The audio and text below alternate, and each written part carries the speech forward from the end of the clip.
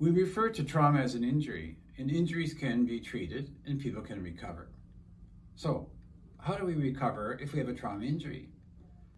First off, work towards rebuilding connections with family and friends, which means talking and spending time with people that care about you, and you avoid isolation. That's the first step back, and you can get support from them.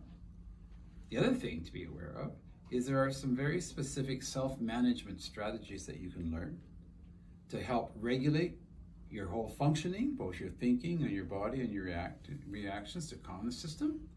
And also strategies which are we call increasing resilience so that you can deal with frustrations, you can deal with uh, kind of anxiety arousing situations which don't trigger you to the same degree that you originally did. So you may have some symptoms, but you function quite well and you are managed.